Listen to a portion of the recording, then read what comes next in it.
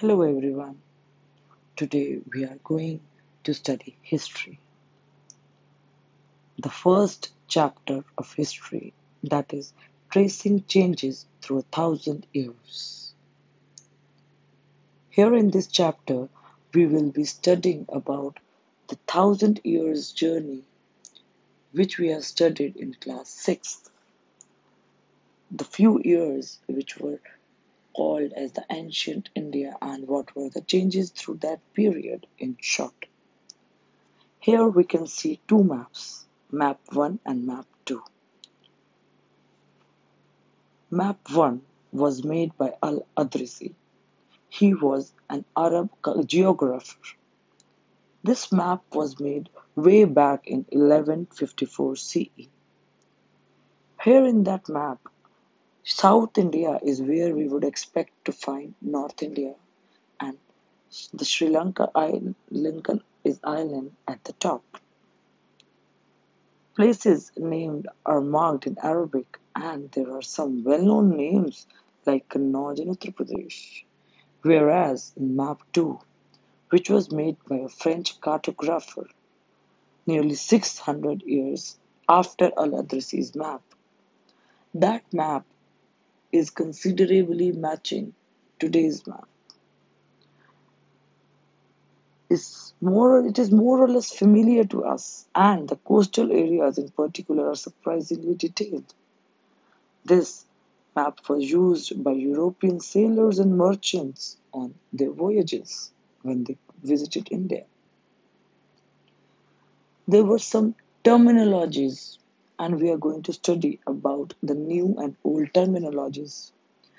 Historicals, historicals record exist in variety of languages which have changed considerably over the years.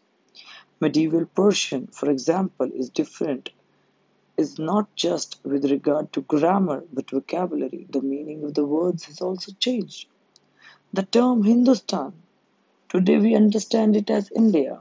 In the 13th century, this term was meant for the areas of Punjab, Haryana, and the lands between the Ganga and Yamuna, but not South India, by Minhaj Siraj, a chronicler who wrote in Persian.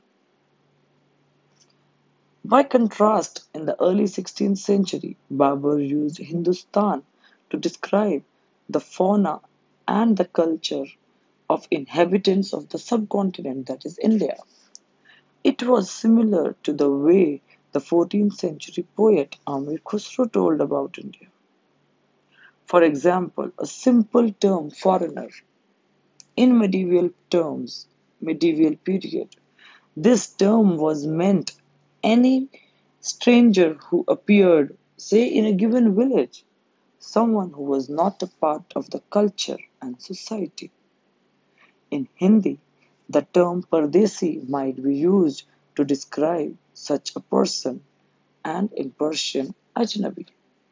So here we understand that there was a difference between the terminologies, same terms and their meanings. Historians and their sources. That means the sources through which the historians studied about history. The first one is the coins. The study of the coins is called numismatics. They used to study these coins about the period. They used to tell about the period they belong. Second is the inscription. The study of inscription is called the epigraphy, where the historians try to study the original inscriptions. Then the architecture. It could have been Mughal architecture, Rajput architecture, or Dravidian architecture.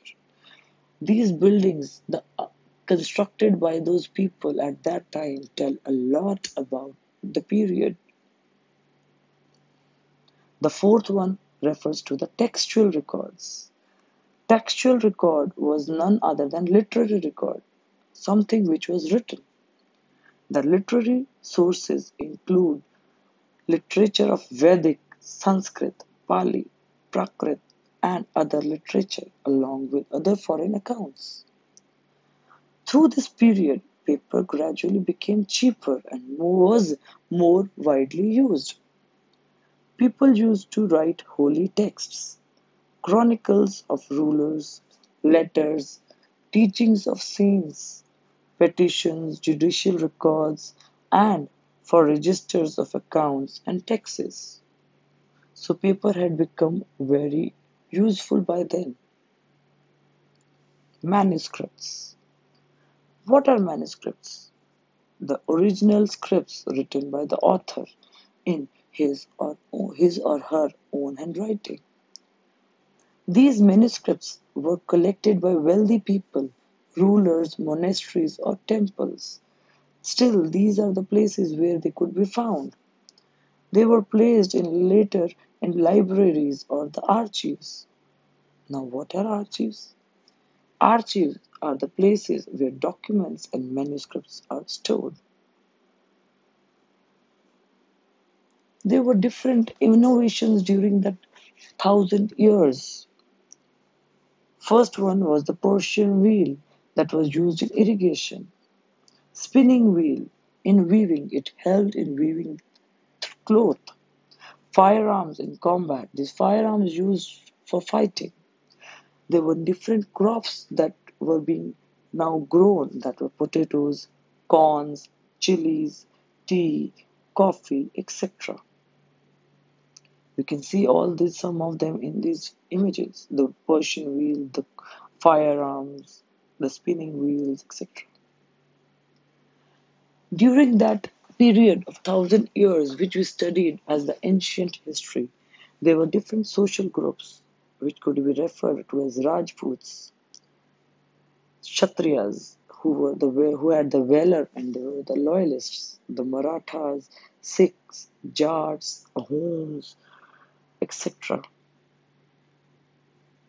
There were social discrimination also done at that time that was based on jati, that is subcaste, occupation, and background. And these jatis were own rules. Jati panchayats were also formed. These village was governed by chieftains that were referred as jati panchayats. They were formed by the different jatis in a particular area. There were different regions and empires that emerged. There were different religions that were referred as Hinduism, under which came Brahmanas, the idea of bhakti, and Islam was divided into two major categories that was Shia followers of Prophet Muhammad's son-in-law Ali, and Sunnis, the followers of Caliphs. Thinking about time and historical periods, the Britishers divided Indian history into three periods that was Hindu, Muslim, and British. But these were not only referred to as it is as Hindu, Muslim, or British. They were better known as ancient, medieval, and modern. In the sixth class, you were taught about the ancient history, which we studied in brief just now. And further in this class, seventh, we will be continuing with the medieval history. And in the eighth class, you will be studying about the modern history, which is referred as the British history. So that's all for today. Thank you. Have a